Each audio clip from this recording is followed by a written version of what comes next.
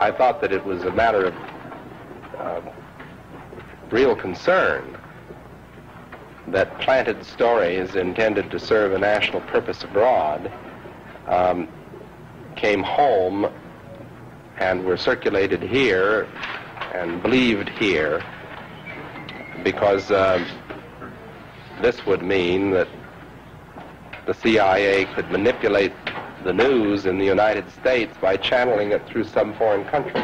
Now we're looking at that very carefully. Do you have any people being paid by the CIA who are contributing to a major circulation American journal? We do have people who submit pieces to other two American journals. Do you have any people paid by the CIA who are working for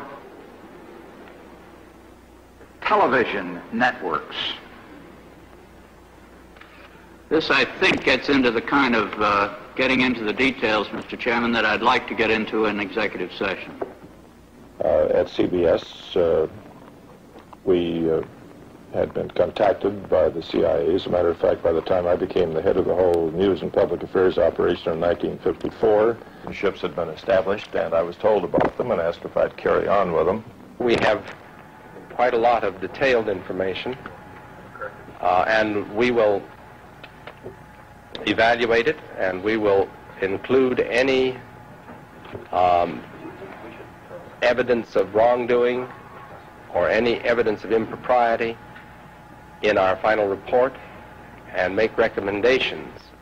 Do you have any people being paid by the CIA who are contributing to the national news services, AP and UPI? Well, again, I think we're getting into the kind of detail, Mr. Chairman, that I'd prefer to handle in executive session. Senator, do you think that you named the news organizations in your final report? Uh, that, that remains to be decided.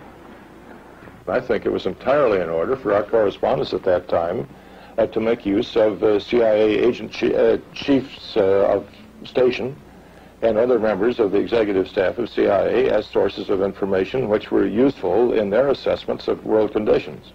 Would you say that continues today? Well, I, yeah, I would think probably for a reporter it would continue today, but because of all of the revelations of the period of the 1970s, uh, it seems to me that a reporter's got to be much more circumspect in doing it now, or he runs the risk of uh, at least being looked at with considerable disfavor by the public. I think you've got to be much more careful about it.